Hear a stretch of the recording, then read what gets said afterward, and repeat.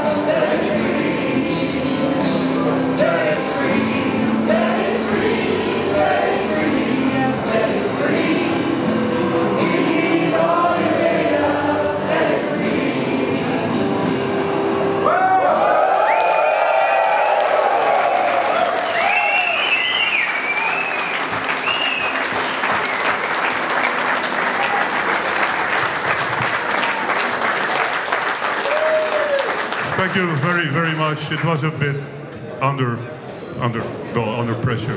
We would, we would like to thank Marcus Serbs for giving us the, his guitars for this evening. Thank you very much.